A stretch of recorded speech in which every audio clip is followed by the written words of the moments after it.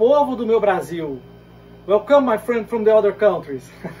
então, vejam vocês, isso aqui eu já mostrei ela retrô. Agora eu vou mostrar The Real One, o produto verdadeiro Adidas. Se eu não me engano, esse aqui deve ser 78 ou 4. Mas antes de eu falar, eu quero falar nessa moda do unboxing. O unboxing é uma bobagem, né? Os caras estão postando camisa de futebol aí, mostrando a camisa vem na caixa, eles pegam, tiram a caixa, tiram aquele papel. Gente, isso é você está se rendendo ao consumo idiota.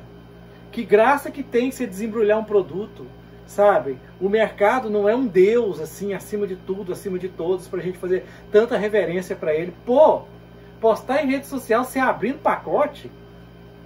Ó, ó, bom, enfim, é, é, é triste, né?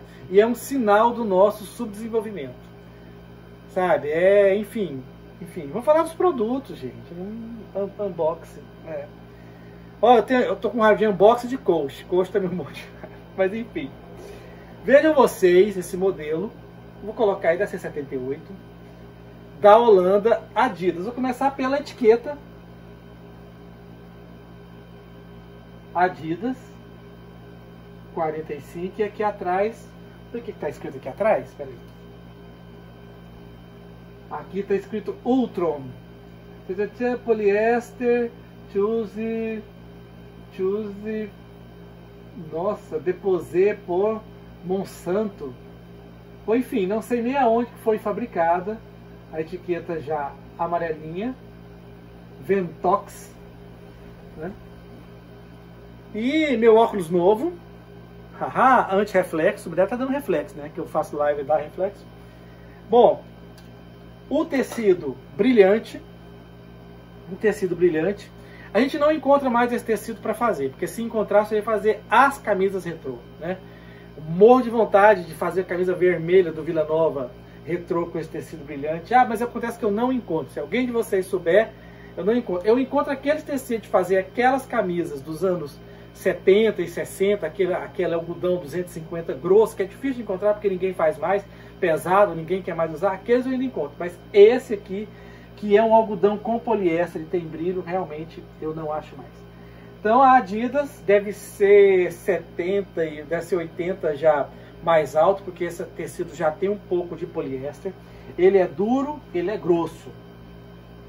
Pintado e pintado. Aqui é ainda bastante anos 80, anos 70. Aqui é uma gola mesmo é, em algodão. As três marcas muito bem aplicadas em termos de cor. Veja como essa cor parece com essa mesmo. Veja, isso aqui é só um pouquinho mais. Camisa muito bem preservada, né? Só um pouquinho mais escura do que aqui. E como sempre a Adidas fazia, uma faixa só e as listras bem fininhas. Clássica, clássica, clássica, clássica. Número 10 também pintado. E de cá vocês podem ver. É como se esse lado fosse tratado e esse aqui não fosse tratado. Camisa que faz frio é quase uma camisa térmica, né? Camisa mesmo bem, bem europeia e clássica das clássicas. Essa aqui não tem jeito de dar nota nenhuma a não ser 10. Todo colecionador quer ter, sabe? Quem coleciona Holanda, quem coleciona times europeus, é, é, é seleções europeias, realmente fica louco aqui com um modelo desse. E outra, não compensa vender essas camisas, para ficar bravo quando eu falo isso, no Brasil. O brasileiro não tem condição de concorrer com o preço em libra, em dólar e em euro. Né? Então, assim, esquece, esquece. Eu tô, tô, tô gravando aqui hoje, o dólar tá 5,60, né? Uma camisa dessa aqui, 600, 700 dólares, 700, ou às vezes libra, né? Quanto é que vai custar? 5, 6 mil reais, enfim.